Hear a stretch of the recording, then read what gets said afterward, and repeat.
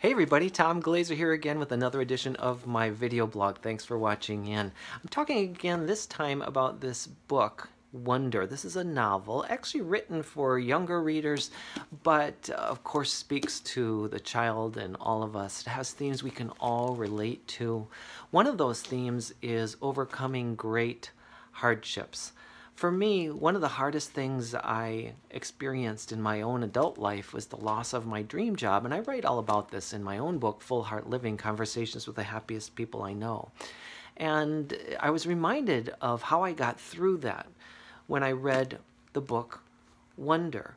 I didn't do it by myself. Yes, I needed to look at my own inner resources and delve deeply into those but it was through community, through the support of loved ones, my family, and my friends and coworkers that I was able to rally my resources and reinvent my life when I lost one of the things that was most precious to me.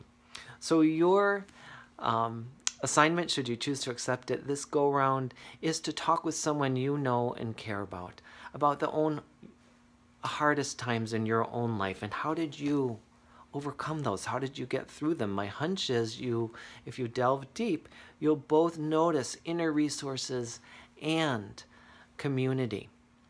And ask the same person those same questions. How did they get through the hardest times in their life?